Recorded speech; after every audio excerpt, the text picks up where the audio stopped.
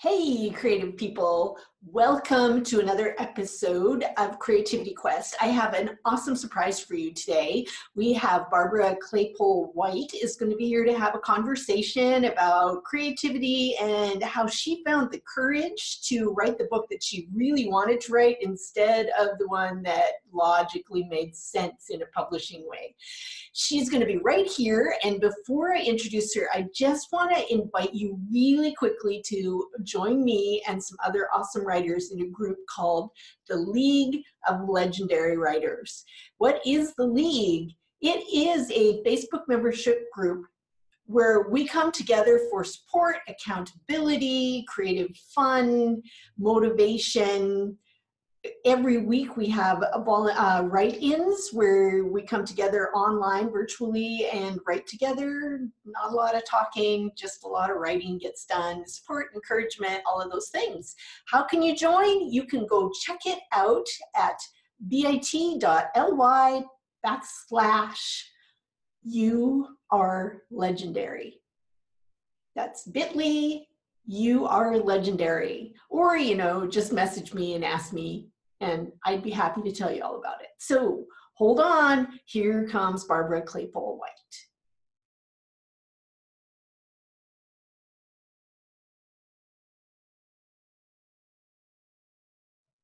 Hey, creative people, Kerry Schafer here with you again today, and I'm super excited to have a guest with us who is uh, not only just another author, but also a friend of mine and somebody that I adore both her books and her as a human being.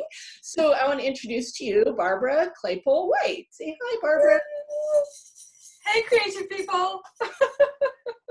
so today we um, we're going to talk to Barbara. Um, I want to tell you a little bit about her, but I'm going to let her do that too as we go along. She is a very established author who's been writing books for quite a while, um, with Lake Union most recently. I for for quite a while, and then she had an idea. So today we're going to kind of talk about the thing that happens when the idea comes out of the ether and grabs a hold of you and doesn't let you go, and uh, what what you can do about that. So, Barbara, do you want to just give us a little bit of background on, you know, I know you were trying to write something else, and sure, know, sure. Well, I'm, I'm, you know, I'm one of those writers who doesn't find her ideas easily. I have a horribly uh, organic, loosey goosey, messy process. So I'm not one of those authors, you know, who has like 10 hours sleep and posts at 8 o'clock on Facebook. Oh, I dreamt my entire manuscript last last night for, you know, I've, every arc for every character. I'm not one of those people. Every single one of my novels has grown out of a story seed that was buried in another story. Oh so, wow! So one one story, the seed is in one story, yeah, and yeah, and it just it just takes me forever to find the story that I want to write, which means that I'm very slow. I mean, I should be a book a year, but I'm technically one every 15 months. And you and I both share a wonderful editor, Jody, who has been very oh. understanding about my process. And the problem, a couple of things happened. Okay, so I have written all of my books except for my debut to contract and then I went off contract, had a lot of family stuff going on. I kind of wanted a break. I was burning out a bit. I went off contract, and my agent and everybody else said to me, Oh, you're off contract. Write whatever you want to write. And I, they, I they say that, but I know. really mean it, right? That, that kind of crippled me. And and what really happened was that I, when I had just, when I was um, when I had finished writing The Promise Between Us, so I had just finished the page proofs for The Promise Between Us, and I became obsessed with a secondary character who is the only character in this book whose story is not finished at the end. His name is Jake. So, first off, I wrote Jake's story, and my agent has said, Oh, yeah, yeah, yeah, you can do that, just don't make it a sequel.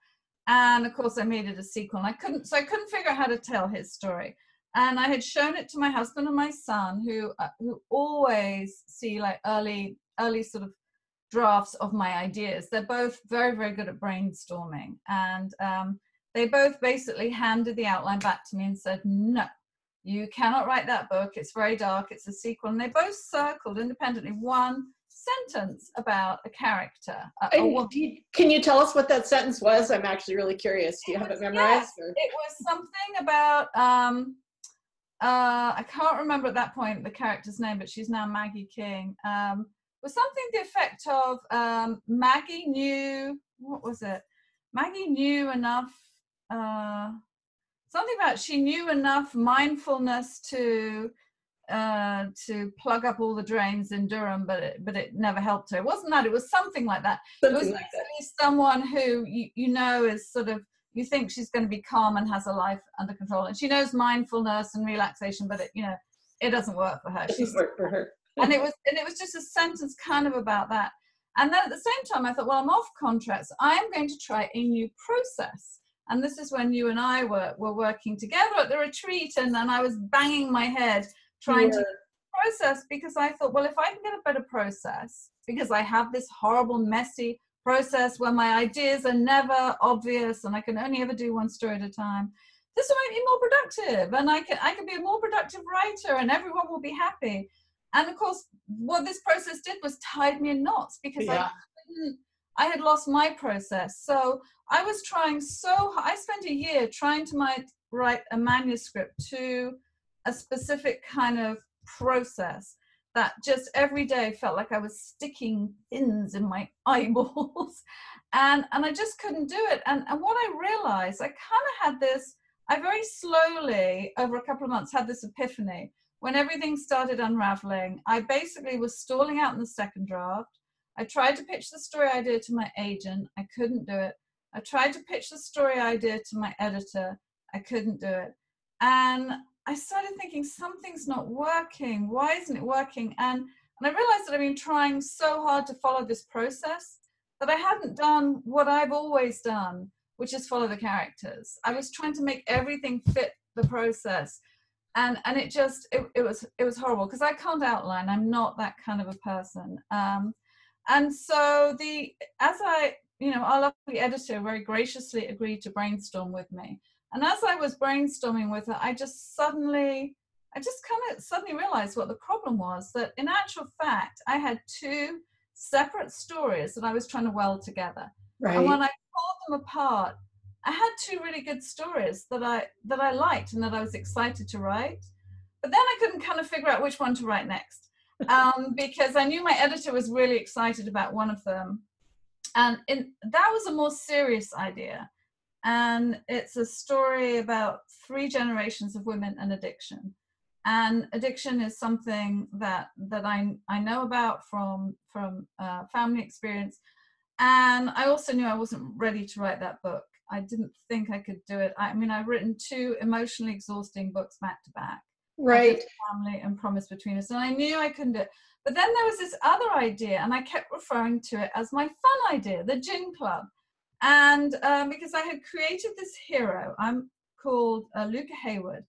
And he uh, he was meant to be the hero of the manuscript i abandoned.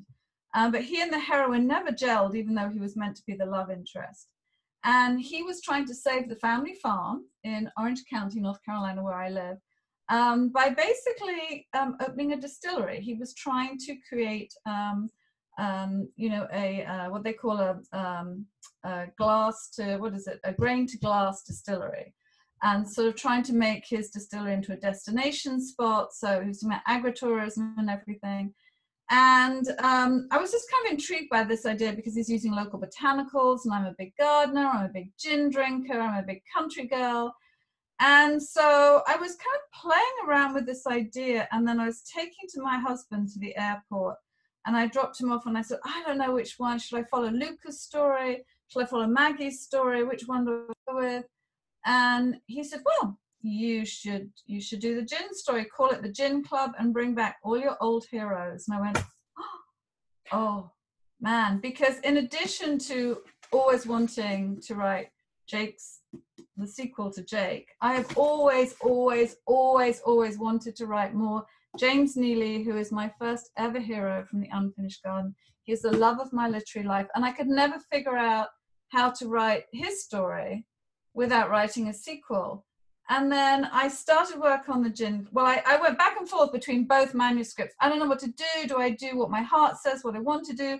Do I do what the, the smart career move is? Nobody would be stupid enough to write a manuscript off contract with all male point of views when she's meant to write women's fiction and bring back characters from books across two imprints, one of which is going out of print. So none of it made sense, but it was in it was just saying, oh, you know, there's something in my heart just pulling at this because it was everything. I, you know, once I sat down to write it, I realized that I was doing, I was actually writing the novel I really wanted to write. But it kind of grew out of Luca's story. And then I had to spend a lot of time really fleshing out Luca and making sure that the story belonged to him and his teenage son, not these guys who are really strong characters in my head. But so, so, so, you have a lot of strong characters that are all wanting to show up on the page. I had a lot of strong characters that are all wanting to show up. And the interesting thing is when I get them on the page, it's just hysterical. It's so much fun because I know these guys so well. You know, I've lived with them for so many years, especially James, who, and the thing is that it was kind of an accident because originally I thought, well, I'll just bring back James. And then uh, they, they just sort of appeared. They, they were just like appearing on the page. And I thought, and you would think that that would be really easy, right? To, to use secondary characters who've appeared in other novels of yours but it actually wasn't it was it was actually much harder than i thought it would be and what is intriguing to me is every time i get them on the page just seeing the different reactions because they just sort of take off and they I, I you know like two of them are sparking against each other and i was thinking right. oh where is that coming from and i can i can see that it would be actually very difficult because you're bringing fully developed characters together and it's like bringing a whole room full of people together like they're not all going to get along and you no. No, and it's manage them or coordinate right. them or and it's and it's just them. fascinating. And the thing is that you know when I when I first you know when I was first having my crisis about which story to write, and um, I decided to put it all everything aside for two weeks because we were going on vacation. And during that time, I emptied my brain, except for one day in the ocean, I had a conversation with my son. And he said, Have you decided which one to write yet? And I said, no. And he said, Well, you know, I think you're doing the gin club a disservice. You keep referring to it as your fun book. And he said, I, I think you're, you know, you're not um, you're not really allowing yourself to follow that thought. And I, I went, maybe, and then forgot about it. And we got home and I was driving to the supermarket the next day.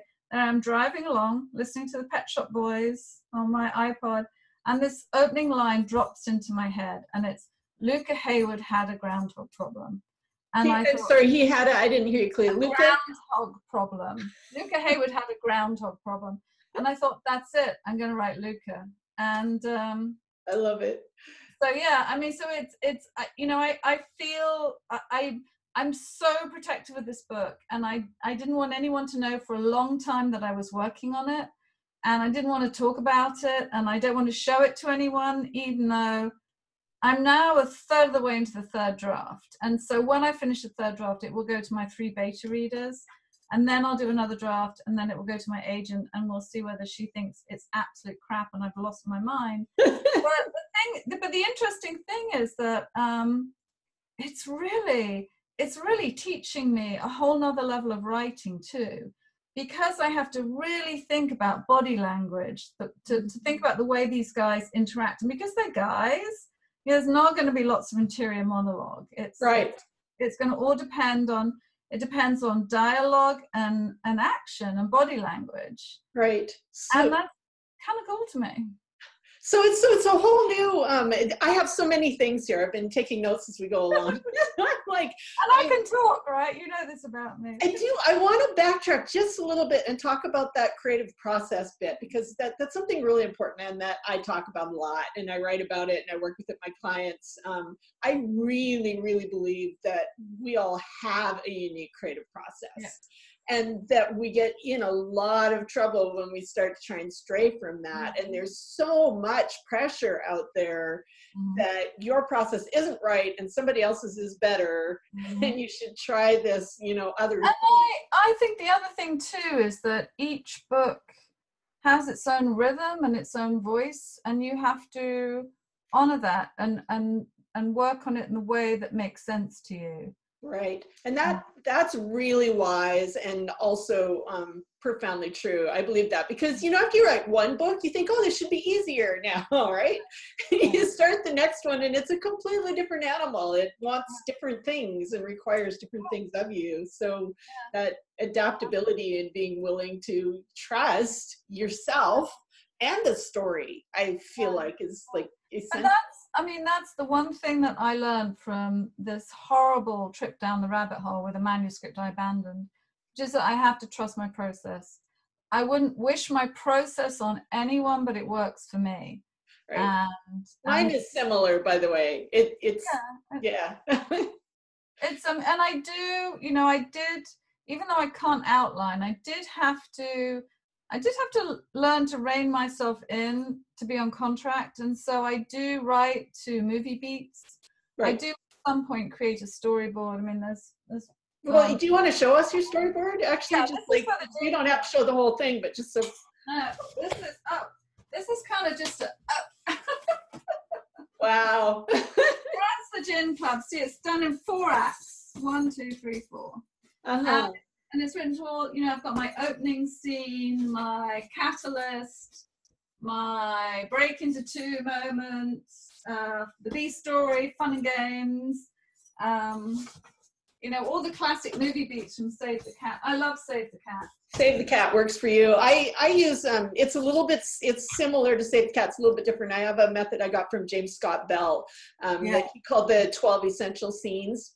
Mm-hmm. That's what I do. And then I just know that I, and he took it from movies. So it's a lot the same. Well, and I think, you know, I actually don't, what, what I've learned about myself too is that, you know, I'm not someone who does anything neatly. You know, I don't, I don't research and write, you know, or, or research outline write. It, it's all kind of a, a, a glorious cauldron for the first draft.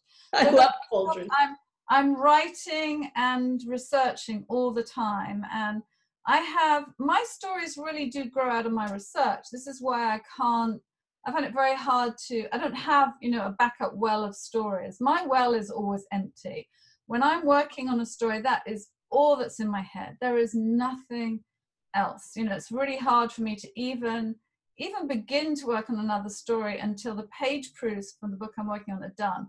As right. I actually say, it's kind of like I have to detox from the characters. Mm-hmm. So I really need to kind of go down the rabbit hole. And one of the ways I do this is I do these one-on-one interviews with people who are living the experiences I want to write about, and I just follow their leads. I mean, I let them talk at me. I mean, I interview. I have interviewed so many local distillers, um, you know, about the process of making gin, and then I was I was out at a farm um, a, a, few months ago, a few weeks ago, and someone mentioned foraging, and I'd never heard of foraging before. So then I then I connect with a, a local foraging company, this wonderful group called Piedmont Picnic, and they took me foraging. How fun! And I ate juniper berries. I ate North Carolina juniper berries and the tips of loblolly pines for something. I thought they were supposed to kill you. I thought juniper berries could kill you. Uh, yes, on bush on shrubs on on shrubs or bushes in North Carolina, but on trees, no. Okay. pretty good. I've, I've actually got a vase of juniper berries in my kitchen right now that came back from my foraging trip. That is so fun. So that's so, how I find the stories. I mean, I you know, it's it's I might I do have the idea and the kind of and then it's gut. It's oh my gut goes, you know what? I need to know more about that.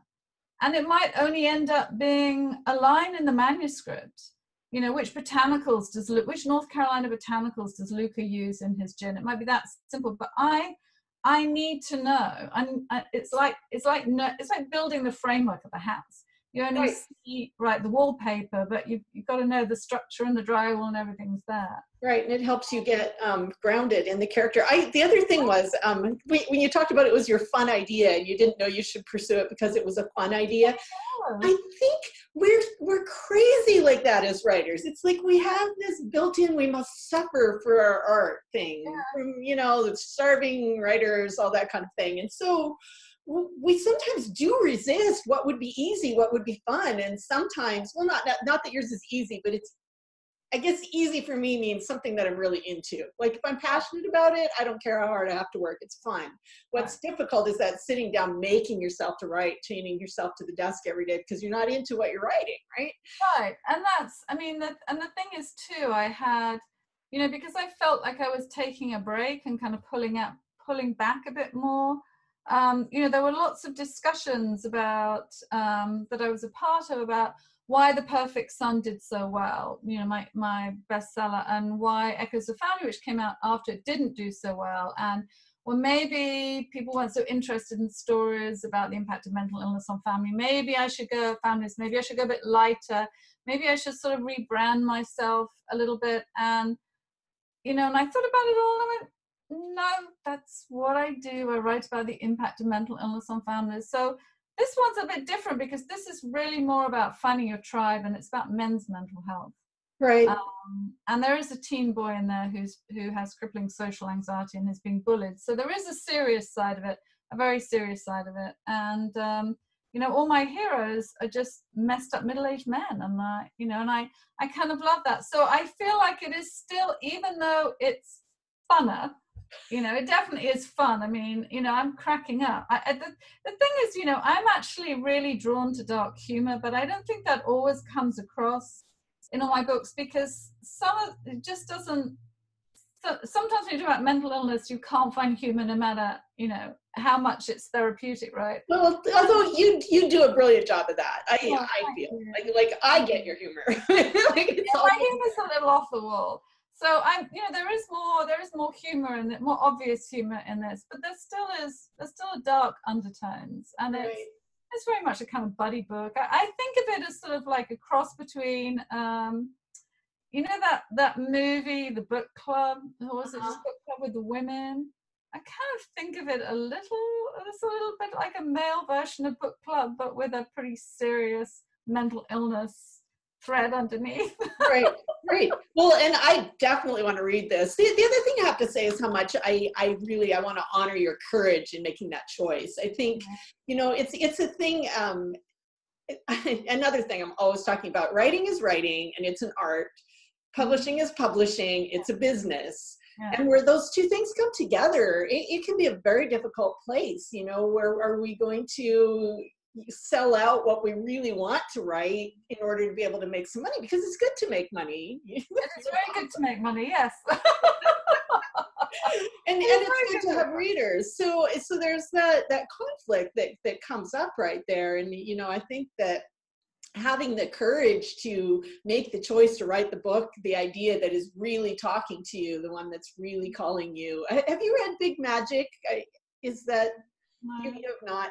I resisted that book really weirdly for a year. Everybody kept telling me you need to read Big Magic. And I was like, yeah, yeah, yeah, it's another book about writing.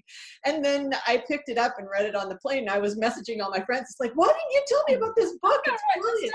Big Magic. Yeah, by Elizabeth Gilbert. Actually, I have, I have a copy. I'm writing it down. I'm going to show everybody because I, I am really a fan of this book. So it doesn't want to show up because my it's too much brightness in my um, window. Here. Creative Magic by Elizabeth Gilbert she talks about ideas and really kind of as she believes that they're they're alive and they come to us from wherever or they're looking for the receptive ground the person that's willing to accept them and an idea will come to you and go hey and there there's a point where you make a contract with that idea and decide to go for it. And if you don't you often will lose that energy or it will go to somebody else. And so you know i think it feels wonderful to to go ahead and go for the idea on it you know? When it's your idea it, it's almost like a collaboration and then energy grows from there. It's like i'm trying to think of it who has it's, it's a similar idea and it's it's bugging me because i can't remember who it was. But a very famous author talked about you know stories that were out there waiting for you. You know they were just like waiting for you to find them and tell them and right. um yeah and i you know the thing is that I've I'm extraordinarily proud of all my books, and I think at the end of the day, that's what really matters to me. You know, some have sold better than others, but I'm still very proud of what I've done. And I and I, but the other, but the flip side is too, you know, it it. I can I can do this because I have a, a supportive spouse. I am not the breadwinner. Right. I work full time at this, but I'm not the breadwinner, um, and that's a luxury that a lot of people don't have. Don't have exactly. Um, and you know, if if I didn't have that luxury, I would have had to work harder to rein in my process. Although, you know, I, I also believe I kind of I figured this out in um, college actually because I would get you know those writing assignments in my English degree when I finally got around to doing the English degree, and um, I, I would have the assignment and I'd look at it and I go, okay, I know this is what they want me to do over here, but what I mm-hmm. really, really, really want to write is over here. And I would look at it and go, all right, I'm going to forego my A because I want to write this thing over here instead. Oh. Almost inevitably, when I did that, I actually got the A because it was original and different. And because you were writing from your heart. Right, exactly. And that's, you know, I was going to say, I mean, the other thing is, you know, the other sort of part of the supportive framework, whatever, um, the tribe, the team, is that, you know, my agent has been incredibly supportive and, and she, she said to me from the beginning when I went off contract, you're off contract, write the story of your heart, write what you want to write. And you know, then when I told her, I didn't want to, I, I didn't want to admit to her that I was flipping ideas. And she was so fantastic because she said, Barbara, if you write the story with passion, your readers will read it with passion. And that's, you know, the story matters to you. It'll matter to your reader. Exactly. And i believe that. I'm totally excited about about this book. Um, i can't wait to read it. It's called the gin club you guys. Be watching because i actually have one of my little i get a little tingly feelings sometimes about books that i really believe they're going to be something. And from when barbara first told me about this book i was like oh you have to write that one. That just sounds absolutely brilliant. But um, it's amazing how much agony we put ourselves through before we actually say, okay, you're right. You have to give. You actually said something to me that I put on my my a sticky on my. Oh yeah, that's right you know, give your was it give yourself permission to something about permission. I don't remember yeah. exactly, but give yourself permission to follow the idea or follow breadcrumbs or something. I can't remember what it was. Oh yeah, it was about breadcrumbs. It was follow yeah, the breadcrumbs. I got so many notes on here, and none of them seem to be it. That's okay.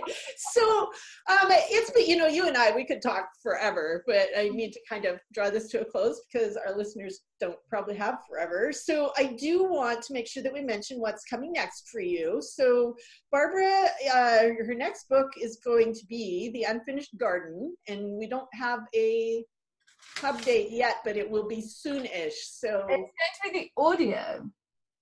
I'm putting out the audiobook of my debut novel, The Unfinished. Oh, Garden. that's what you're doing. It's the audio. Oh, now I understand. So you're working on the and the hero of this book, James Neely, comes back in the gin club. James is actually a very, he doesn't have point of view chapters, but he is a very, very, very important secondary character in the gin club. How cool is that? So the two things are coming together. So this will be coming soon. And you can find Barbara's other books on Amazon. I'm going to post a link for you so you can find it easily. And they're brilliant. You should definitely read them. Um, Barbara Claypole White, thank you so much for being here today. I had a great time talking to you. I can't wait to see how this Happy writing, creative people. yeah, go do something creative. Go follow your heart.